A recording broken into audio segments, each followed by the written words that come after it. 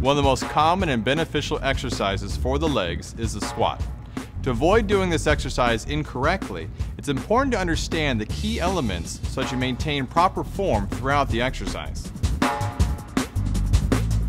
First, you'll want to make sure that your feet are shoulder width apart and facing straight ahead. Next, move your hips back as if you're about to sit in a chair. Then slowly lower yourself down by bending your knees to a 90 degree angle. Maintain your body's weight over the feet, keeping your heels on the floor. From there, slowly return to the standing position. It is also important to keep your core engaged and your back straight during the entire exercise. This will help keep your spine aligned properly, resulting in a lesser chance of injury.